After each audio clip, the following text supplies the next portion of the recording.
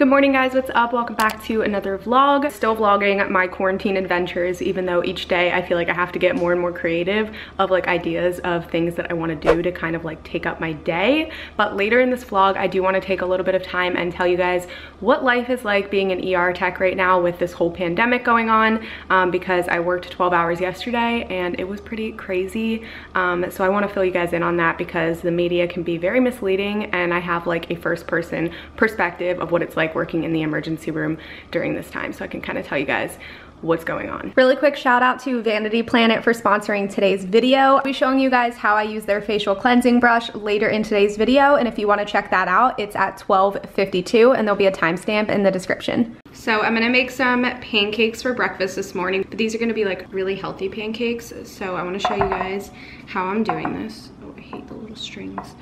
Um, so you're gonna want to use one banana and this will make about four pancakes and then get a fork and mash it up. I had a banana that was more ripe than this one, but I didn't want to use it because I personally felt like it was gross. I was like really grossed out. I started to peel it and I was like, ooh, this is like way too ripe for me. So I decided I would just use this one, which it's still pretty ripe, but could have been a little softer. Then you're gonna wanna crack four eggs in a bowl.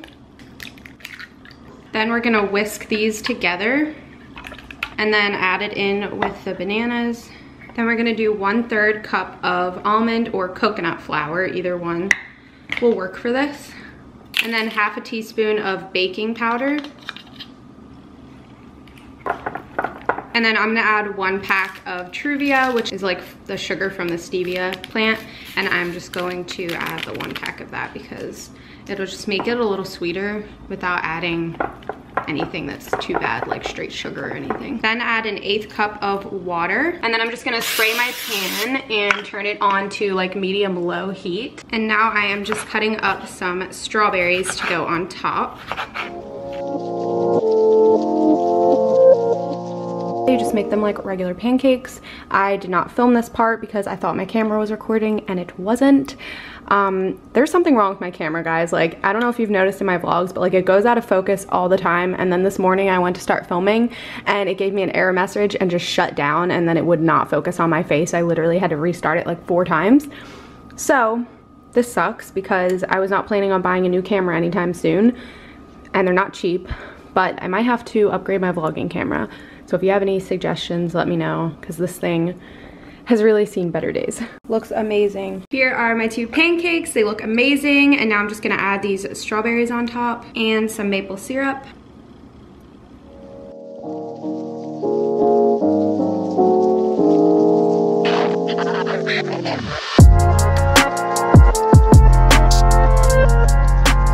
Guys, I just saw this meme and I wanted to show it to you guys because this is genuinely how I feel about the community that I've built on my channel here on YouTube. Literally, like, we're just a big family and it's awesome. Guess what I just got in the mail? My Nintendo Switch Pro controller. I decided to get one of these so that I could play Animal Crossing on our TV screen in the living room and not just have like the Joy-Cons in that controller because it's just so much better on here. So highly recommend this. I'll link the one I got. This is just like the original Nintendo Switch one. I was gonna buy an off-brand one that had like an Animal Cross logo, but the reviews for all of those like custom ones are that the controllers are cheap and they feel cheap and this one feels amazing. It feels like an Xbox controller. So I am really excited that I just decided to go with the black one, even though it's not as cute. Um, the quality's a lot better. Also, I got my hoodie in the mail from Urban Outfitters, and I actually shared this in a vlog when I was ordering it, and a couple of other things that I was like looking at. But that vlog's probably gonna go live after this one, and I hate when that ends up happening, but it was a sponsored video and I had to wait on brand approval, so it's actually not gonna go live until next week. So I will have one vlog going out later than the rest. It is so much later, but I refuse to like let the day go by and not get my workout in because I know that I'll just be mad that I didn't do it. Um, so it's literally 7.09. The sun is starting to go down and I figured I have probably just enough time to do like a 30 minute workout. But I got an exciting package in the mail and I wanna show you guys. I ordered peach bands because I really, really wanted a good pair of resistance bands and several months ago I ordered like some on Amazon and they were pretty cheap. So I really, really wanted to get the cloth ones because I know that these are better quality. And with the peach bands, it comes with three different like weights, so light, medium, and heavy. And these ones are the cloth bands. So they're just like so much better quality. So I can't wait to use these. Gonna test these out. And then I also got a kettlebell on Amazon. So you can get the peach bands from their website, but I think it will take longer to ship. So I'll link the ones from Amazon below. And they are this exact same set. The Peach Bands brand, um, but they sell them on Amazon, so it's awesome.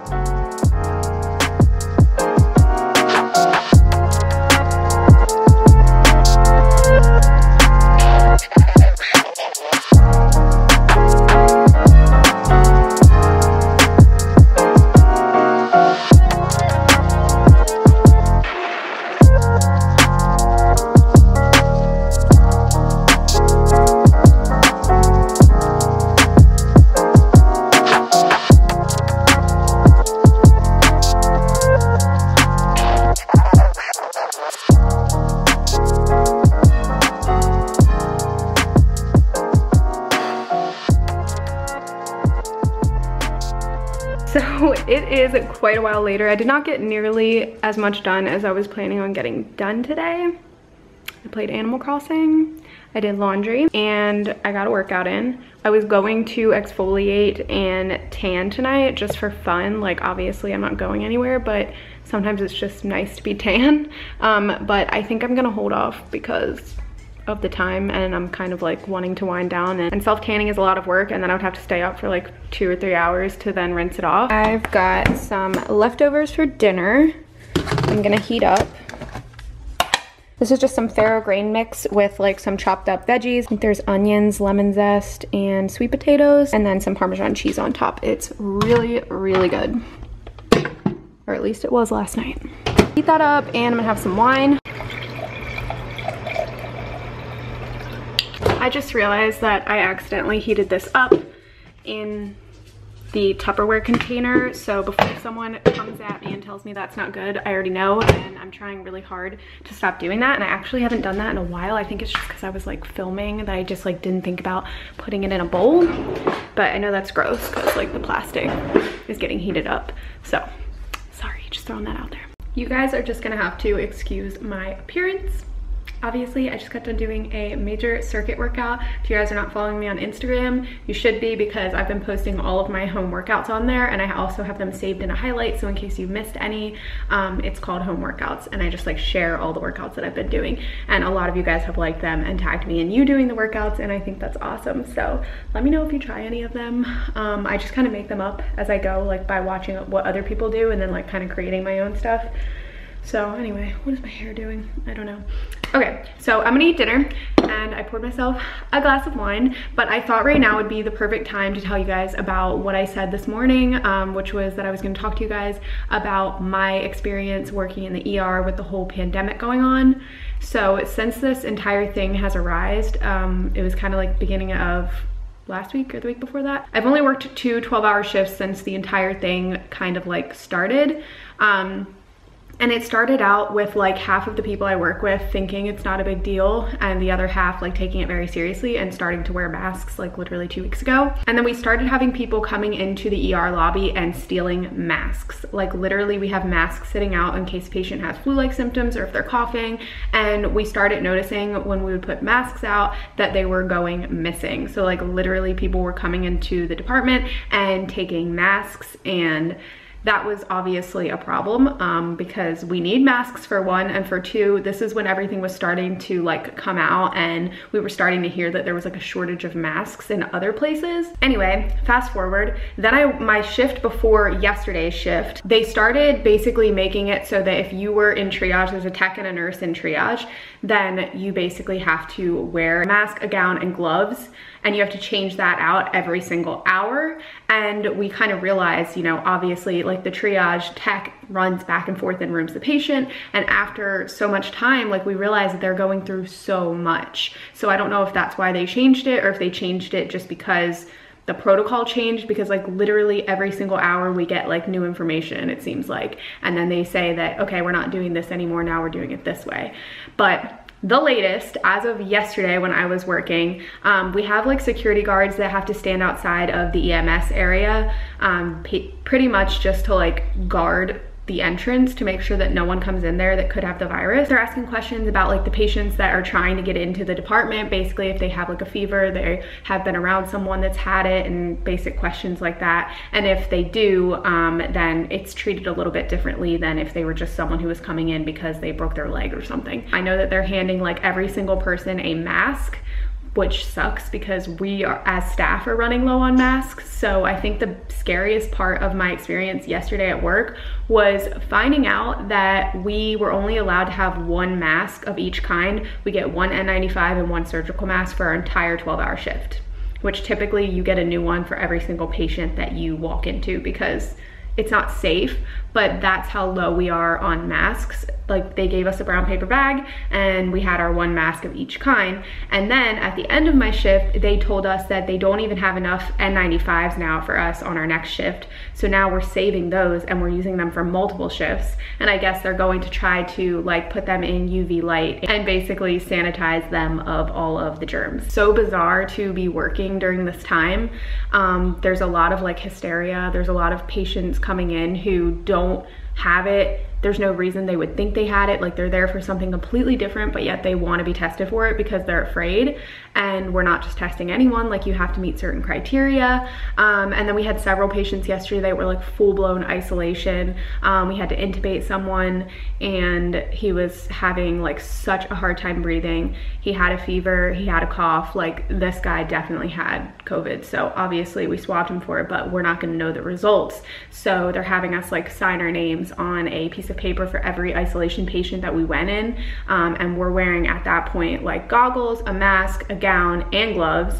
And we have to keep the door closed at all times because it's like airborne and droplet precautions. So it is crazy. Um, it was really scary being in that one room with that very critical patient, but we're treating pretty much every patient like they could have it because the symptoms are kind of broad and someone could come in there with something completely different, but then also be experiencing symptoms that could be um, the COVID-19. So it it's crazy. What a time to be living through. I feel like I should be like writing a journal of everything that I'm experiencing right now. Um, anyways, I wanna eat my dinner. I obviously can't like talk and eat dinner. I just can't multitask. That's who I am. So I'm gonna eat. If you guys have any questions about that or about anything, um, feel free to leave them in the comments and I'll definitely get back to you. Um, but yeah, that's pretty much my experience so far. You have heard it from me.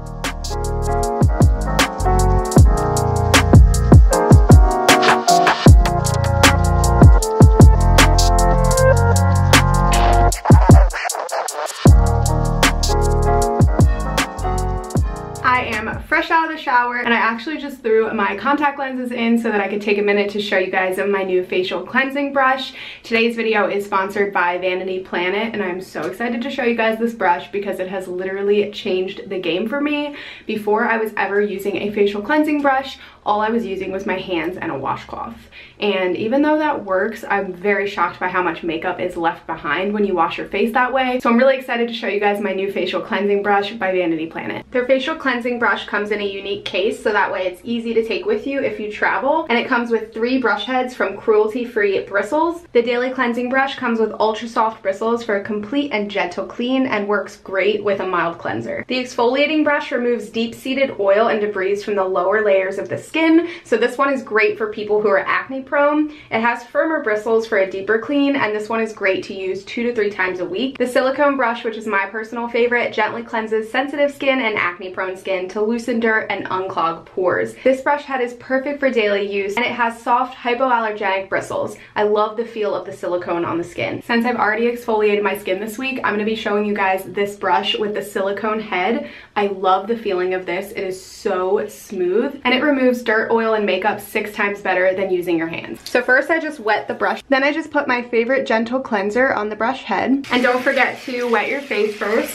And then you're just gonna apply the brush to your face in gentle circular motions. I feel like getting deep into my skin and removing my makeup which is such a huge pet peeve of mine. I don't know if you're somebody who has to take your makeup off before you go to bed or if you're someone who just like sleeps with it on, but I literally cannot sleep with my makeup on. This brush is really great for people with sensitive skin, so if you're someone like me, it's perfect for you. The bristles are so soft. So I've been using it on the lower setting, but it also has a higher setting, and I'll show you guys. So the higher setting is great too, especially if you're trying to like really take your makeup off, if you had like makeup caked on there or something.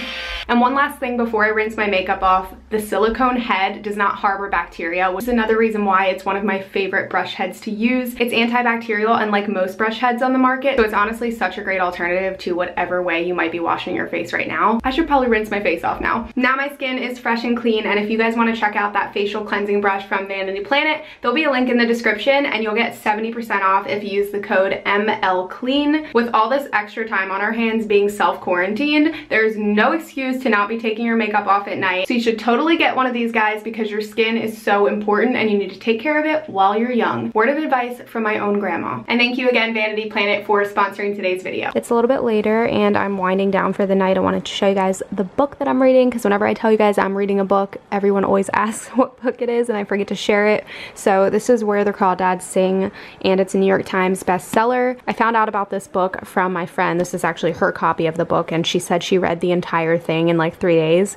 So apparently it's a really good book. I'm not super far along yet, but I definitely trust Alyssa's judgment because her and I have read books together before and we both love the same kind of books. So if she says this is a book you can't put down, then it's a book you can't put down.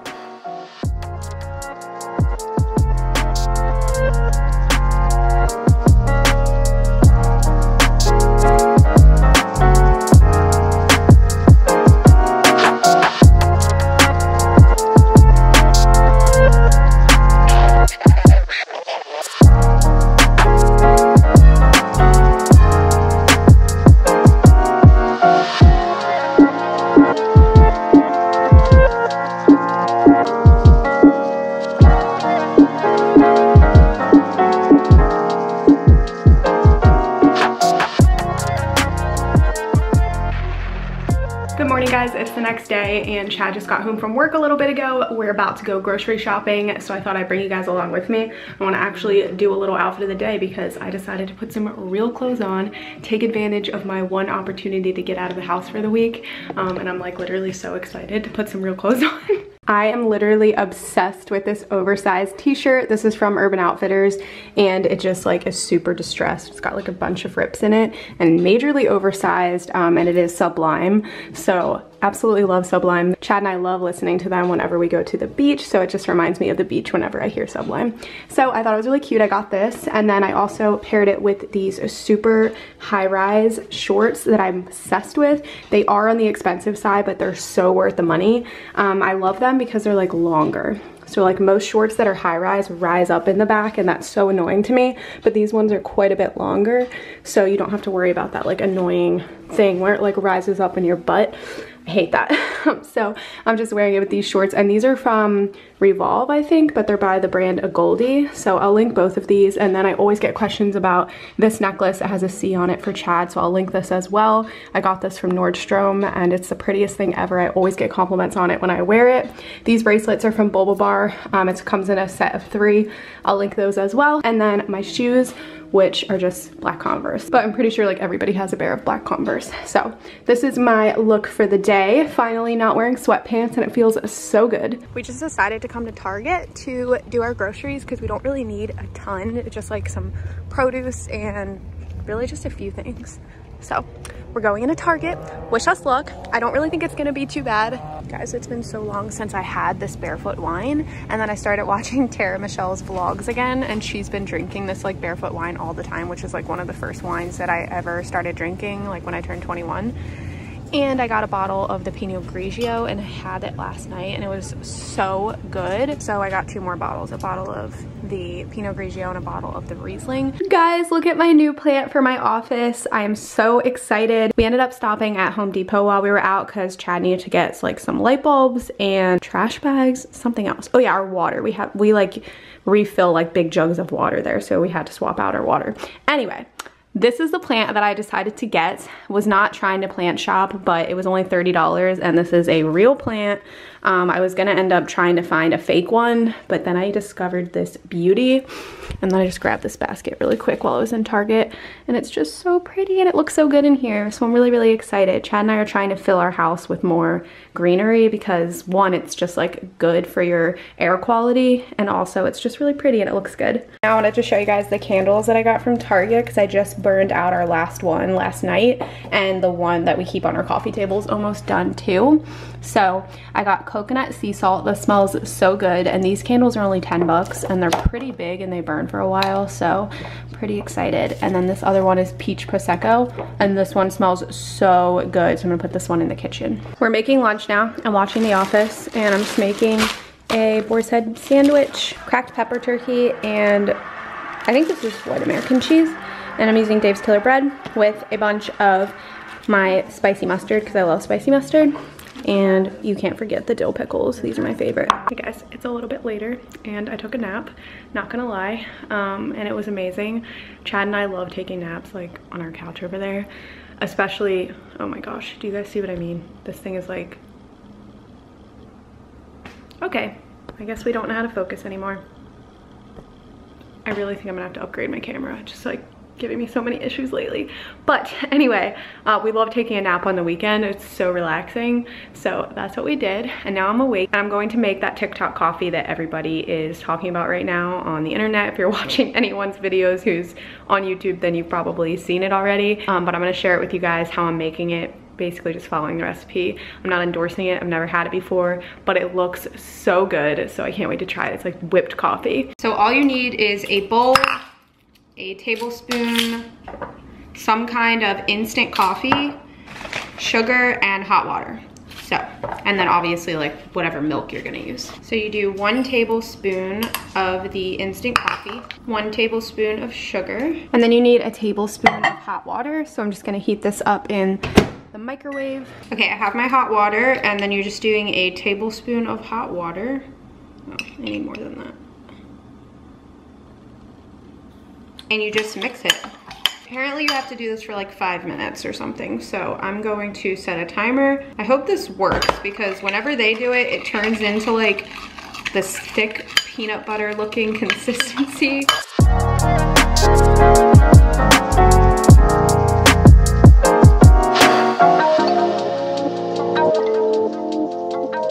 So after like five minutes of stirring, it will be like this really thick consistency and I think it would have been easier if I would have used a whisk. Apparently that's what other people use, but I didn't realize that until after I already started stirring it with a spoon. So I just stuck with it. Um, but yeah, it kind of looks like peanut butter. So now I'm gonna fill up my cup with ice. Okay, so I have a cup with some ice and now I'm going to fill it with almond milk. You can use whatever milk you want. This would probably be really good with coconut milk. I wish I had coconut milk. And then you pretty much just put this on top.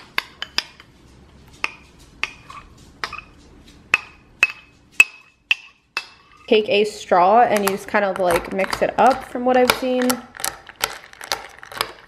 You just have this delicious whipped coffee latte that everybody says is so good. So I will taste test and let you know what I think. So here is the final product. It looks really good. I'm really excited to try it and I hope this is good because I nearly broke my arm trying to mix that like mixture. Here we go.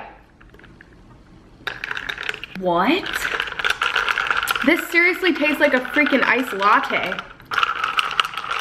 Oh my gosh. It's so good. I'm thick and creamy. I'm just letting you guys know I was not expecting to like this. I was thinking I was gonna be let down because of how many good things everyone has said about it. I was just like, eh, it's probably a bunch of hype. It's probably not that good. Oh my gosh. I'm so excited that I just discovered this because you guys have to know that I've been like dying without going to Starbucks. I usually go to Starbucks like all the time and I haven't been able to because obviously everything that's going on.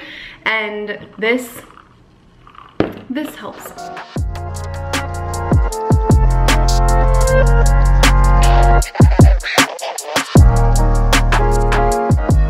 Currently sitting here editing this very vlog because it's such a long one. I honestly think this is probably the longest vlog that I've ever uploaded on my channel. So I hope you guys like it. Um, I don't know why it ended up being so long. I guess I just talk a lot.